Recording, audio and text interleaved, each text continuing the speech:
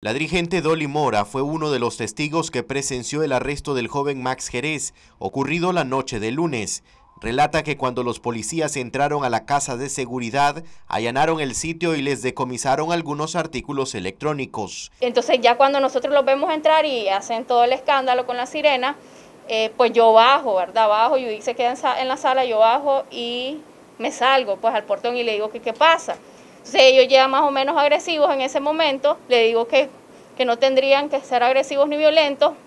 Entonces, entra, me dicen, entra, ya sabes cómo es esto, que no sé qué. Nos, nos meten a la sala, yo y a mí, eh, Max está en la planta alta, porque el espacio es de dos plantas. Eh, yo intento ir detrás del policía porque quiero ver cómo ocurre eh, exactamente el, el, el momento de la detención pero no me permiten, me ponen a una oficial mujer y no me, no me permiten subir.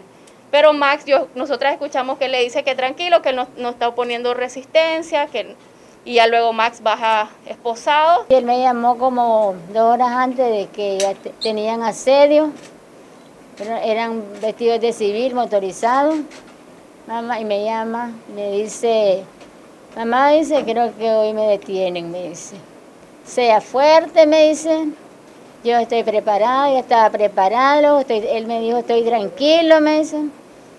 Y usted también me dice, tiene que ser fuerte. Yo no quiero que usted se enferme, me dice, por estar, dice, pensando pues, en esta situación. En paralelo se ejecutó la detención de Lester Alemán, a quien golpearon cuando era trasladado en la patrulla policial, denunció su madre. Salí yo.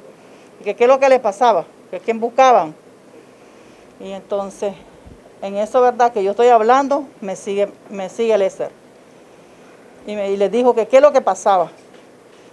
Y entonces él abrió el portón porque le dijo que no le dañara el portón de su casa. Y, este, y ahí nomás lo agarraron y lo llevaban golpeando. Vengo yo, salgo y le, dijo, le dije, no me lo golpees porque mi hijo no es ningún asesino. Mi hijo no tiene sus manos manchadas de sangre como la tienen ustedes.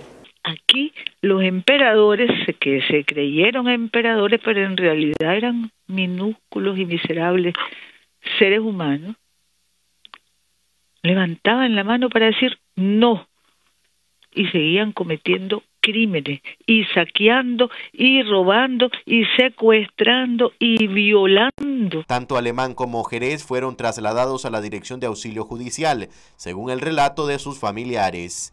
Marcos Medina, Noticias 12.